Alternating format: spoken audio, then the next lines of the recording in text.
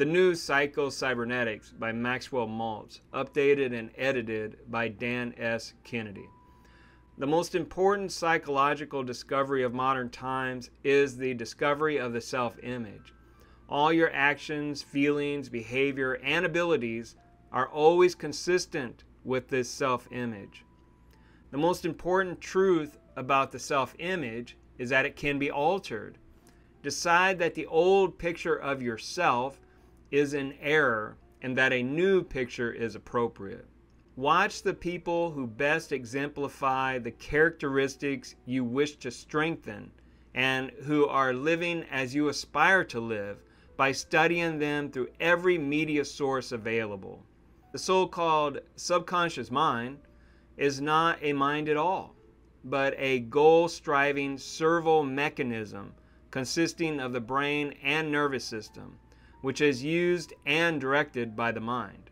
Servo mechanisms are so constructed that they automatically steer their way to a goal, target, or answer. Conscious thought selects the goal and triggers it into action by desire and feeds information to the automatic mechanism so that you continually correct its course.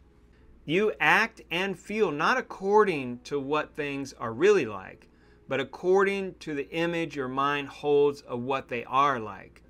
You have certain mental images of yourself, your world, and the people around you, and you believe as though these images are the truth rather than the things they represent.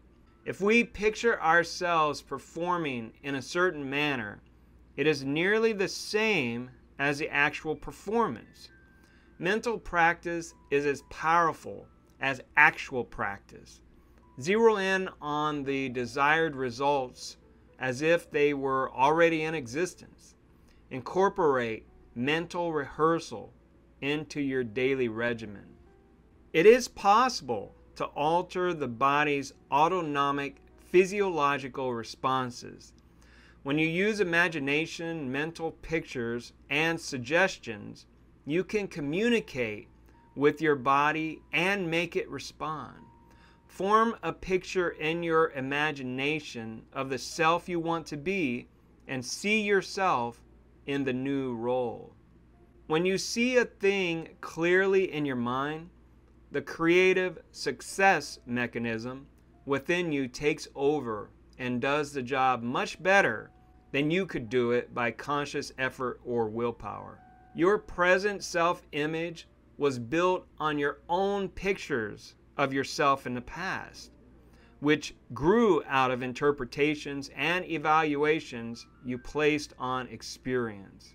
Feelings of inferiority originate not so much from facts or experiences, but from our conclusions regarding the facts and our evaluation of those experiences. You, as a personality, are not in competition with any other personality simply because there is not another person on the face of the earth like you or in your particular class. Rational thought, to be effective in changing belief and behavior, must be accompanied with deep feeling and desire. Picture yourself as you would like to be and have and assume for the moment that such things might be possible. Arouse a deep desire for these things. Become enthusiastic about them. Dwell on them and keep going over them in your head. Your present negative beliefs were formed by thought plus feelings. Generate enough emotion or deep feeling, and your new thoughts and ideas will cancel them out. Constant repetition and thinking in terms of possibilities makes the end result appear more and more real to you. Act on the best assumptions available and leave the results to take care of themselves. People are self conscious and awkward in social situations because they are too consciously concerned, too anxious to do the right thing, and too fearful of saying or doing the wrong thing. The solution is to just let go. Stop trying. Don't care. And give no thought to the matter. People cannot function at their best if moving at the fastest possible speed all the time without relief or recovery. Mentally, slow yourself down enough to savor your experiences. One of the main causes of breakdown, worry, and other personal problems is the bad mental habit of feeling that we should be doing many things now. Top performers stick with focus rather than multitasking. The most common causes of unhappiness are people attempting to live their lives on the deferred payment plan. They do not live, nor do they enjoy life now, but wait for some future event or occurrence. Happiness isn't something that happens to you. No one can decide what your thoughts will be but yourself. It is only fun if you make it. If someone else does it for you, it is entertainment. When your actions or performance does not meet your expectations, don't belittle yourself with negative self talk. Replace those images of yourself that do not create value in your life. Habits are reactions and responses you've learned to perform automatically without having to think or decide. They are performed by our servo mechanism or subconscious. All problems, personal, national, or combat, become smaller if you confront them. It is a good exercise to daily admit one painful fact about ourselves to ourselves. Have the courage to risk making mistakes, failure, or being humiliated. Once you move forward, you can correct your course as you go. Stop carrying around a mental image of yourself as a person less capable than others. Celebrate your victory, small or large. Recognize and build on your strengths. And continually remind yourself that you are not your mistakes. Begin to appreciate other people more. Show respect for people because they are a child of God. You're dealing with unique individual creations of the Creator of all. Confidence is built on an experience of success. Success breeds success. Start gradually and experience success at first on a small scale. Form the habit of remembering past successes and forgetting failures. Many people shy away from healthy self acceptance because they insist on identifying themselves with their mistakes. You may have made a mistake, but this doesn't mean that you are a mistake. Instead of self rejection, strive for self acceptance. Acknowledge that you are a unique, one of a kind composite of strengths, weaknesses, knowledge and ignorance, experience and naivete, accomplishment, and unrealized potential. Negative emotions are alarms. No one is immune to these negative feelings and attitudes.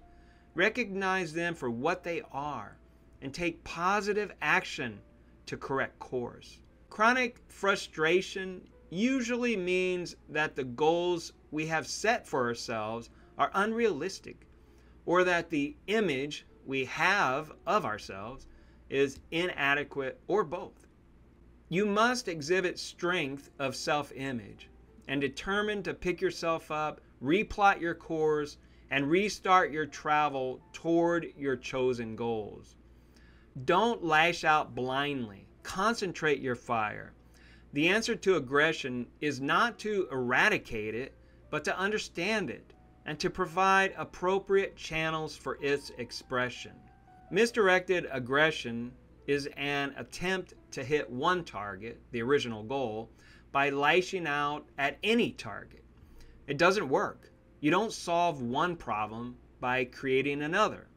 The feeling of insecurity is based on a concept or belief of inner inadequacy.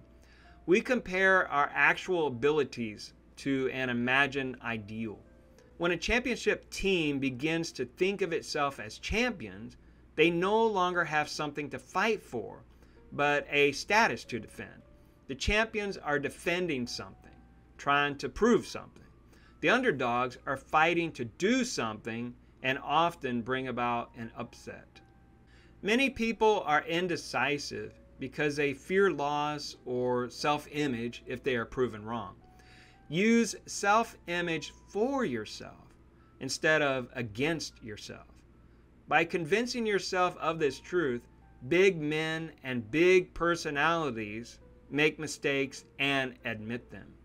Resentment is caused by your own emotional response, your own reaction. You alone have power over this. Do not fear self analysis. Stick with self coaching. Avoid self loathing. People who become offended the easiest have the lowest self esteem. We are hurt by things we conceive of as threats to our ego.